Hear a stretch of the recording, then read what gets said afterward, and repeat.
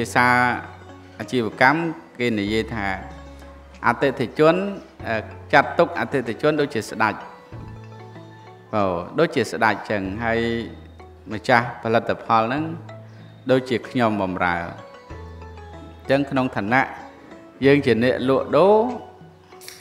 យើងអត់អាចធ្វើមុខកម្ៅដាក់ភ្ញៀវបានទេប៉ះភ្ញៀវណាមិនដឹងភ្ញៀវថ្មថ្មមិនហ៊ានចូលទេហ្នឹងហើយ បើក្រែងលោតែភ្ញៀវគេពេញចិត្តពេញថ្លើមអីមិនអានឹងគេចេះតែចូលទិញឬថាអត់មិនបានខានមិនកើតអីអានឹងមិនដឹងទេប៉ុន្តែបើភ្ញៀវគេមានជំរើសថាអត់ហាងហ្នឹងក៏មានហាងផ្សេងដែរអានឹងគេទៅហាងផ្សេងហើយអញ្ចឹងគឺអាចបាត់បង់ដែរអាចបាត់បង់អតិថិជនដែរអញ្ចឹងមិនងាយទេ credit ណាបើ credit ណាមើលអាត្មានិមន្តទៅណាទេថ្ងៃមុននេះ ហ្នឹងហើយមានហាងពីរបើមានហាងពីរមិនដឹងជាទៅកំពង់សោមមិនដឹងជាទៅឧត្តមមានអូនឹកឃើញឧត្តមមានជ័យឧត្តមមានជ័យនឹងជាខេត្តមួយបញ្ចប់សង្គ្រាមចុងក្រោយគេបងអញ្ចឹងការអភិវឌ្ឍលើគ្រប់វិស័យហ្នឹងវាវាប្រឈមនឹងបញ្ហាច្រើនដូច្នេះការរីកចម្រើនហ្នឹងក៏វាមានកម្រិតតាមនឹងដែរ ហ្នឹងហើយមានកម្រិតតាមហ្នឹងមានអូតែលមួយហ្នឹងអាត្មាមិនបញ្ចេញឈ្មោះទេអូតែលមាន2ដែលដែលជាទូទៅភ្ញៀវទៅដេកហ្នឹងមានអូតែល2ប៉ុន្តែអូតែលមួយហ្នឹងយើងមើលពីក្រៅទៅណាបើមើលពីក្រៅទៅស្អាតខ្ពស់ច្រើនជាន់មានទីធ្លាសំរុំមានដេកមានការរៀបចំអីស្អាតមានថាស្អាតមាន សំបីតែអាហារដ្ឋាននៅ ខាងក្រោមហ្នឹងមាន បន្ទប់ VIP មានកន្លែងកដាលវាលអីហ្នឹងហើយមួយទៀតអត់តែលមួយទៀតនោះផ្ទះសំណាក់មួយទៀតហ្នឹងចង្អៀតតូចទីធ្លាហើយអត់មានអាហារដ្ឋានអីទេប៉ុន្តែដល់ពេលគេទៅដេកនោះគេមិនទៅដេកអាកន្លែងដែលយើងមើលទៅថាស្អាតថាអីទេទៅដេកអត់តែលមួយទូច ហើយអាត្មាក៏សួរថាចុះមិនក៏មិនទៅអូតែលមួយ ដែលមើលទៅឃើញសំរុំស្អាតពីក្រៅហ្នឹងបានអ្នកចាត់ចែងគាត់ថាជ្រេអស់ហើយអស់តំណឹងហើយ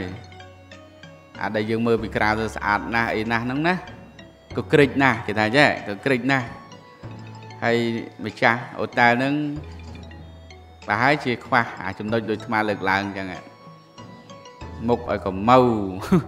ដល់មុខឲ្យកម្ៅនិយាយនិយាយគំរោះគំរើយដាក់ភ្ញៀវអីចឹងទៅវាអាចធ្វើឲ្យភ្ញៀវដកទំនុកចិត្តផងនឹងបើសិនជាភ្ញៀវអាចកិច្ចទៅឆ្ងាយជាងនឹងបានអាចកិច្ចទៅនឹងហើយបើមានជំរើសច្រើនបើមានជំរើសច្រើនភ្ញៀវទៅអស់អញ្ចឹងដូចគ្នាបងនឹងចំណុចជ្រុងមួយដែលអាត្មាជួប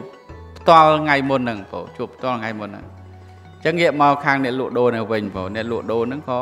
ត្រូវការចាំបាច់ដែរទី1ញញឹមហ្នឹងហើយទី1ណាញញឹមបងទី2សម្ដីពីរោះអូអាត្មានិយាយរឿងមួយទៀតសម្ដីពីរោះអាត្មាទៅខេត្តកំពង់ធំបង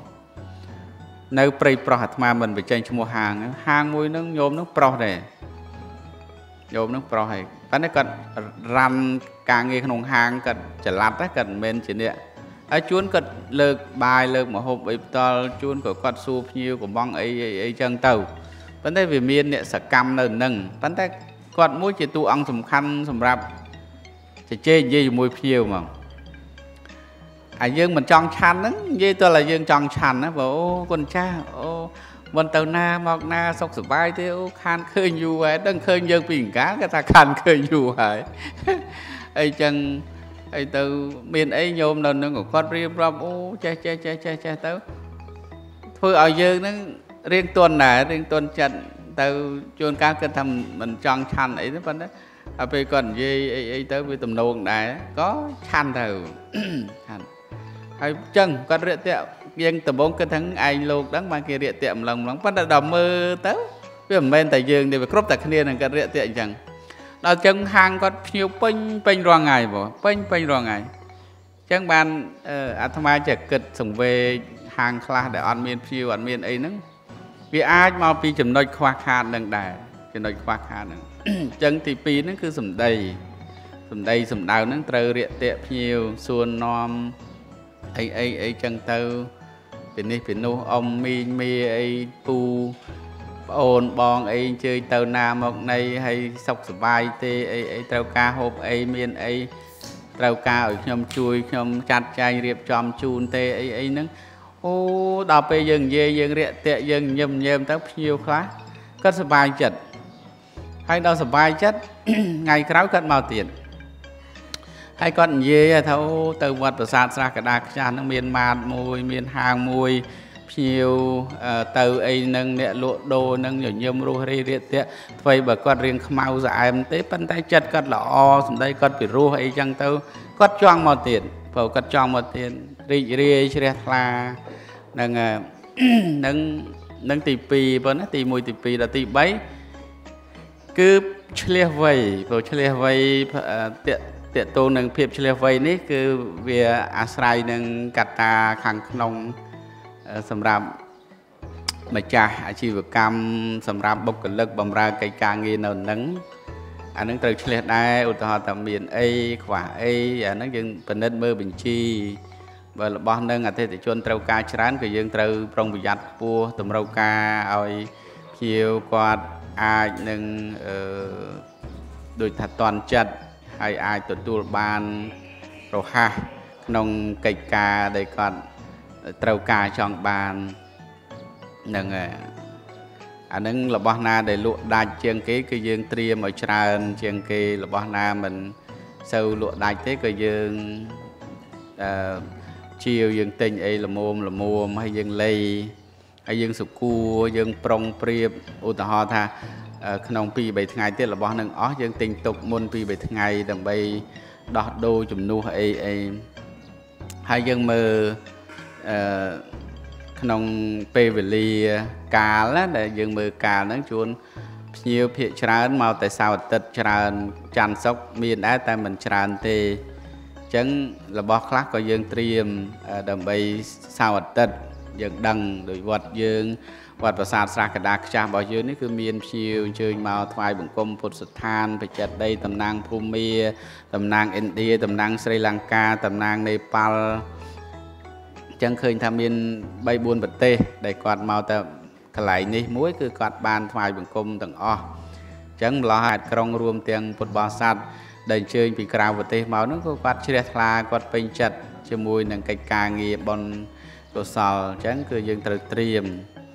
មិនថាអូភ្ញៀវមកទៅភ្ញៀវទៅទិញបាយអ៊ំអើយលក់អស់ហើយអ៊ំអើទៅទិញនេះអ៊ំអើយអស់ហើយតែអញ្ចឹង